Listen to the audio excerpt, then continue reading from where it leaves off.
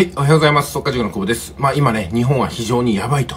最終局面を迎えていてね、これから、まあひどい目に遭う人がたくさん、さらに出るんではないかなと思います。今でさえね、40代、50代で、私と同じ年代ですけども、ロストジェネレーションと言われてね、え、就職がうまくいかなくって、そのまんま非正規に入ったまんま抜け出せなくって、もう未だにね、え、もう暗い暮らしを送ってる方がたくさんいらっしゃる中で、え、本当に、え、日本の経済っていうのは GDP で年率で6.3%のマイナスを記録して、これからますます悪くなるんではないかなと言われてます。その一つが消費税ですよね。消費税が去年の10月に10%になって皆さん、財布の紐硬くなりましたよね。同じ金額でも買えるものってのは減ったんで、すごく、息苦しい、えー、可処分所得がね、えー、減退していった、もう本当に息苦しい世の中になってます。さらにこれが20%向かうわけですからね、もううんざりですよね。その中でコロナウイルスっていうのがあ全国に広がって、コロナウイルス不安っていうのがあります。まあこれは実態もあればあ、言い過ぎなところもあったりするかもしれませんけど、どちらにしてもコロナウイルスに関してですね、いろんなイベントが中止になったりとか、出かけるのを控えようかなとかになったり、普段買わないマスクとか消毒液を買ってみたりとか、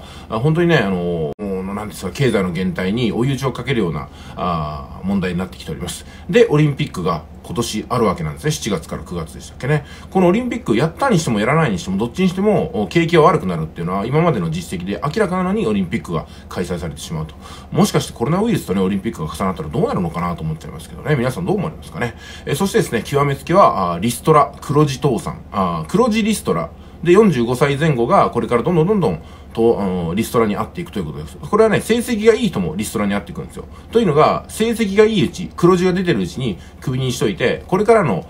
AI 無人創業時代に備えようという経営者の意図があるわけなんですよね。ちょっと考えたらね、自分で会社やってたら、確かにそっちを選択するだろうなと思いますし、私も従業員ゼロの会社を3つ運営してますけども、全くそうですね、あの、人的ストレスはないですね。人を雇わないことの方が利益が出やすいっていう現実を私も目の当たりにしてるわけなんですよ。さあ、そしてですね、例の ANA と安倍総理の答弁の、このね、なんか表現としてはズレとかね、誤解って書いてある報道各社もいますけども、これ完全に安倍総理の虚偽答弁ではないかなと私は思うんですけど、皆さんいかがですかね？これに対して ANA のある方が官邸に呼ばれて圧力を受けたということで、これからね、ANA のあの毅然とした態度がどんどんトーンダウンしていくんではないかなと思いますよね。もう脱力しますね。えー、もう本当に抵抗する者がいなくなるというかね、めった打ちにされて、えー、ひどい時にはね、国税が入ったりとか、いろんな脅し方がもうすでに安倍政権はありますからね、怖いですよね。で、その中で唯一の両親と私が勝手に感じている小泉進次郎さんなんですけども、この環境大臣。なんとですね、コロナ対策をせずに、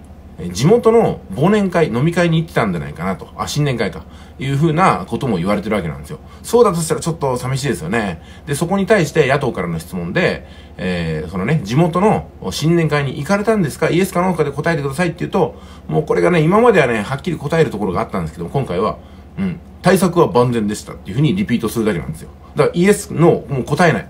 このね、あの、自民党の得意技なんですけども、答えないんですよ。答えずに別の言葉で返してくるというね、こののれんに腕押しみたいなことをやるもんですから、もう野党もね、もうやる気がなくなっちゃうと。見てる方も、もう国会のなんか、予算委員会なんでつまんないようになっちゃって、まんまと自民党の罠にはまるという形でございますね。まあでもね、自民党をね、支持している方もいると思いますし、自民党の中では、あの、やっぱり昔の自民党に戻りたいとか、理想の自民党を作りたいっていらっしゃる方もいるんで、自民党全部一括りにしてアウトっていうわけではないと思いますし、えー、それからね、かといって他に100%正義の政党あるかって言ったら、それもなかなか難しいんですよ。ですからここは我々としてはですね、考えられる二つです。一つ、政治を選ぶときは、相対的にどこがマシかってことを選ばないといけない。これはもうしょうがないですね、選択の原理ですから。もう一つは、自力で稼ぐあの力をつけて、どんな状況であろうとも生き残るようなね、そんな形をとっていかないといけないのかなと思います。おはようございます、おじさん。ではですね、今日も行ってまいりましょう。それでは、いってらっしゃい。